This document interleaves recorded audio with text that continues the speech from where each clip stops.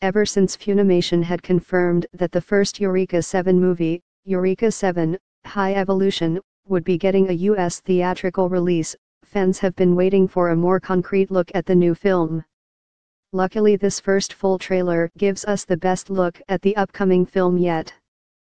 Funimation has announced that the first Eureka 7, Hi-Evolution film will release in the United States with both an English dub and its native Japanese with English subtitles February 5 and 7.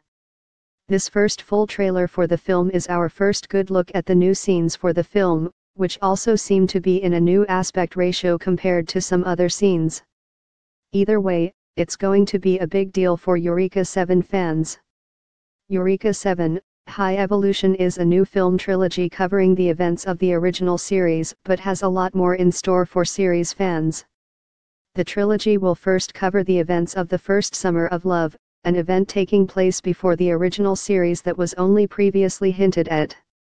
The new trilogy will also cover the events of the original series, with the original cast re-recording their lines for brand new scenes and retouched footage. Here's how Funimation describes the first film, Eureka 7, Hi-Evolution 1.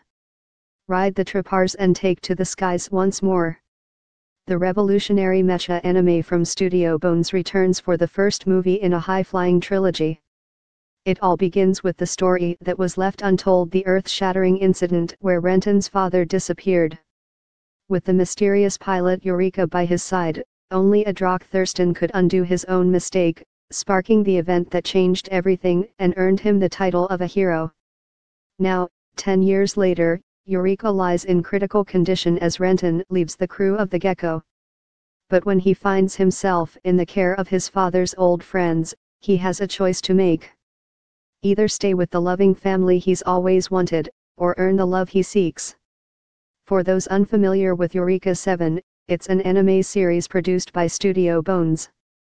Directed by Tomoki Kyoda, with music by Naoki Sato, the series follows Renton, son of a researcher who once died saving the world.